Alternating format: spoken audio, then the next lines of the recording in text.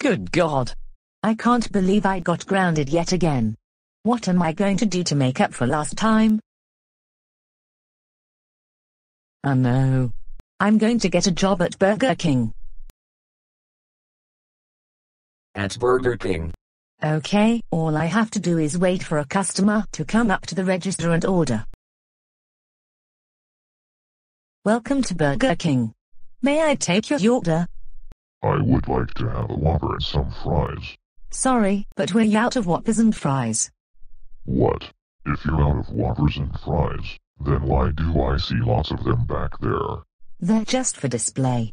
I'm not giving you displayed food. Fine.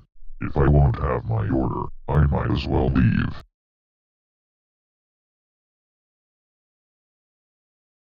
Welcome to Burger King. May I take your order? Yes. Can I have the chicken fries and a large drink to go? I'm afraid you can't. The chicken fries are sold out. What? This must be a joke. I can see lots of chicken fries in the kitchen. Well, ma'am, I'm also afraid to say that those chicken fries are for display only. Fine. Screw your service. I'm out of here.